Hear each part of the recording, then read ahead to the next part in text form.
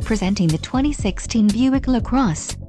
If you are looking for an automobile with great features, look no further. This vehicle comes with a reliable six-cylinder engine, connected to a smooth shifting automatic transmission.